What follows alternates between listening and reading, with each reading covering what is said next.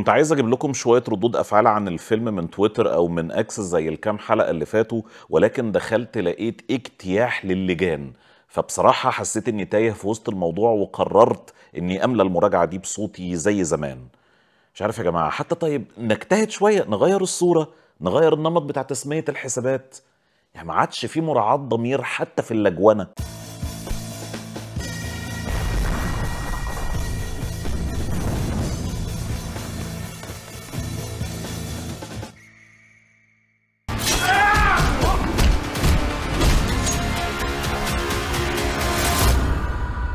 السلام عليكم ورحمة الله وبركاته. كل سنة وأنتم طيبين واهلا وسهلا بيكم في مراجعة جديدة من فيلم جامد. والفيلم اللي هنتكلم عنه النهاردة هو فيلم شقه فيلم شقه أحداثه بتدور عن صديقين هما إسماعيل وحجازي أصدقاء من زمان وشركاء في الأنشطة الإجرامية. بيقوموا بعمليات لصالح شخصية مسيطرة اسمها دكتورة درية وبيعملوا مكاسب كويسة والحياة ماشية بشكل طبيعي. لغاية لما في واحدة من العمليات بتقع بعض التعقيدات وبتؤدي لعدد من النتائج. منها إن الثنائي بتاعنا بيصبح مستهدف وملاحق من بعض الشخصيات قوية التأثير منها إن إسماعيل بيقع في حب فاطمة أحد ضحايا العملية ومنها إنهم بيبقوا أمام اختيار إجرامي ما كانوش يحبوا يتورطوا فيه.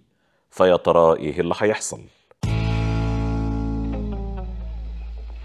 فيلم شقه هو فيلم أكشن ودراما كوميدي. ميال لاختيار وصف كوميدي مش خفيف لأنها من نقاط البيع اللي الفيلم نفسه اعتمد عليها. لأن الكوميديا كانت من الأدوات اللي تم الاعتماد عليها في ال trailer بتاعت الفيلم ولأنها بالفعل كانت حاضرة بشكل محسوس داخل أحداث الفيلم وبالتحديد في الفصل الأول والثاني على الجانب الجاد المتعلق بالأكشن والإثارة الأمور تعتبر حادة شوية. يعني في عنف وفي قتل وفي علاقات درامية متشابكة بتنتظر لحظة التفجر. لذلك الكوميديا اللي تعتبر النقيض تماما كان أمامها تحدي كبير. هنعزف ضحك على أنهي نغمة بالضبط؟ والحقيقة دي من الحاجات اللي عجبتني جدا في فيلم شقه لأن الفيلم فيه محاولات كوميدية كتير وحقيقي كانت فعالة وضحكتني وفي نفس الوقت ما فصلتنيش. المحاولات كلها غير مقحمة وجاية بشكل طبيعي وسقف الهزل فيها مش مرتفع قوي. أغلب الكوميديا نابعة من التضارب الواضح في شخصيات البطلين بتوعنا. إسماعيل الذكي الحكيم اللي بيقيس الأمور بشكل كويس قبل ما ياخد قرارات وحجازي المندفع سريع الانفعال اللي بيحسم كل القرارات بالقوة. في كوميديا كتير كذلك نابعة من العلاقة الغير صحية اللي بتجمع حجازي بالرقاصة فتنه أما الكوميديا الأفضل على الإطلاق في تقديري الشخصي فكانت في مشهد بيجمع إسماعيل مع فاطمة. شخصيات بسيطة بيتحطوا في مطعم فاخر. موقف مكرر شفناه كتير قبل كده وممكن نتوقع الكوميديا اللي هتطلع منه ولكن الصراحة المشهد حقيقي فاجئني. بمناسبة التوقع بقى ضروري أوضح إن فيلمنا بحبكته بقصته بشخصياته ما هوش اصلي قوي. في تأثر واضح بفيلم The Town اللي اتعرض سنة 2010 وكان من بطولة وإخراج بن أفلك. هو في عنوان فيلم شقه مكتوب إن قصته مستوحاة من رواية أمير اللصوص اللي مأخوذ عنها فيلم The Town بس أنا تخميني إن عامل الجذب والتأثر كان الفيلم مش الرواية. بقول تأثر واضح وليس تأثر فاضح. لأن في تغيير كويس في طبيعة الشخصيات وعلاقتهم ببعض. في تطويع للأجواء عشان تناسب البيئة بتاعت فيلم شقو وفي طريقة اختبار كده أنا عديت فيلم شقو عليها ونجح فيها. وهي إني على الرغم من إني عارف أحداث فيلم The Town كويس جدا بس ده ما حرقليش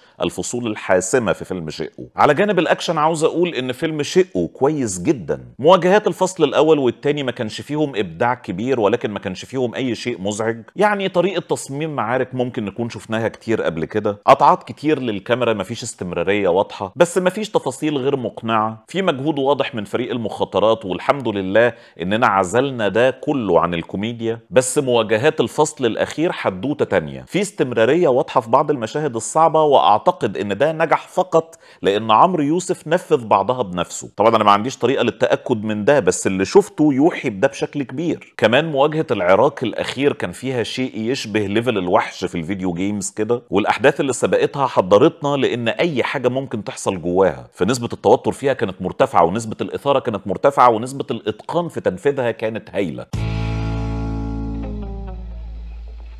على الجانب الدرامي حاسس إن قصتنا كانت متشعبة بشكل مقبول. ما حسيتش بفجوات كبيرة في المنطق وأنا بتفرج بل يمكن قدرت الاجتهاد في بيع بعض النقط وإقناع المشاهد بيها. يمكن أكثرها جودة في تقديري الشخصي هي العلاقة ما بين إسماعيل وفاطمة لأنها على الغلاف كده تبان هندي شوية. بس الفيلم كاسي الشخصيتين بتفاصيل كتير تجعل الاقتراب ما بينهم مش عاوز أقول حتمي ولكن مقبول. وتجسيد رباعي البطولة بتاعنا جيد بشكل متفاوت. أغرب عملية توظيف كانت صاحبتها أمينة خليل في دور دور فتنة الرقاصة. الصراحة خدت وقت طويل عشان أطبع معاها والتطبيع جه على حساب الصداع لأنها كانت مزعجة جدا. وللأمانة الإزعاج مش صفة فيها لوحدها هي كل الشخصيات كانت بتزعق زي ما أنتوا عارفين الحاجات الشعبي بقى وشغل المجرمين والحاجات الجامدة دي. آه الفيلم مش بريء قوي من النمطيات بتاعة العتاولة وبتاعة ملوك الجدعنة والحاجات دي. بس زي ما بقول كده مع مرور الوقت بنطبع معاها. وفي اختيار فني برضو ما عجبنيش قوي وهو الارتفاع الشديد في صوت الموسيقى المصاحبة للمشاهد اللي هو مش كفاية إن الشخصيات عمالة تزعق. انت كمان اهدى عليا شوية بقى. بس خلونا نرجع دلوقتي لأمينة خليل اللي زي ما قلت لكم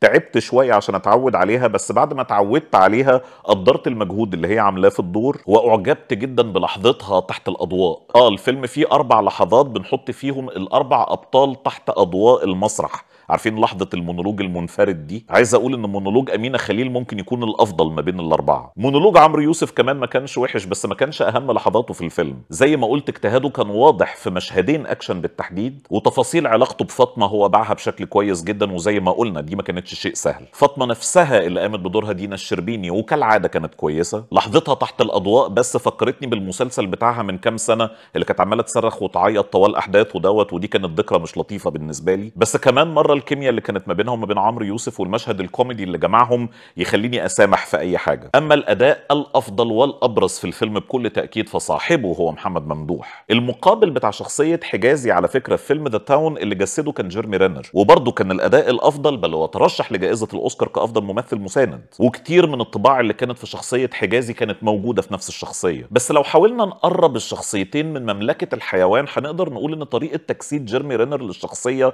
كانت أقرب للضبع المفترس. شراسة شديدة وأخلاقيات غير موجودة. بينما تجسيد محمد ممدوح كان مليان شراسة برضه بس كان أقرب للدب. مش تنمر والله إدوني فرصة أشرح. شخصية حجازي على قد ما المفروض تستفزنا بالاندفاع والعنف بتاعها مطلوب برضه إننا نتعلق بيه. نفهم ليه شخصية فتنة بتحبه. نفهم ليه إسماعيل ما يقدرش يستغنى عنه. ولما يتعرض للخطر نقلق عليه. قولوا لي أنتوا بقى في كام ممثل في مصر يقدر يبيع ده؟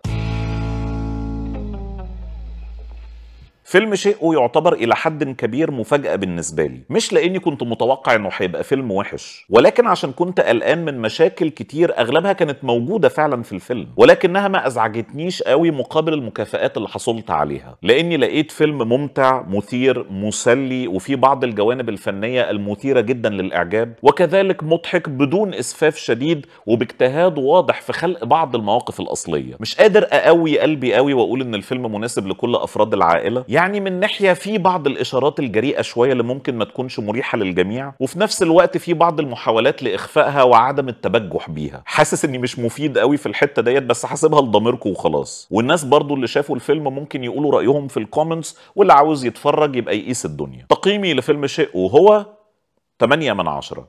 حقيقي الفيلم كويس وعجبني وممكن أراهن على استقبال الناس بشكل إيجابي ليه بدون لا لجان ولا غيره. حقيقي حرام عليكم ادوا فرصة للناس تتنفس. مناقشة الحلقة. يحضركم مين من ممثلين السينما المصرية يستحق التحية لأنه كان بيقدم على مشاهد التحديات الجسدية بنفسه وعشان نصعب الموضوع شوية تعالوا نستثني أحمد السقا من الموضوع. يا ريت تساهموا برأيكم في ال comments ألف شكر لحضراتكم على المشاهدة. يا ريت تعملوا share و like للحلقة لو عجبتكم. اشتركوا في القناة وشغلوا جرس التنبيهات عشان تجيلكم الحلقات أول بأول. تابعوني على فيسبوك واكس وانستجرام وتيك توك و bye bye.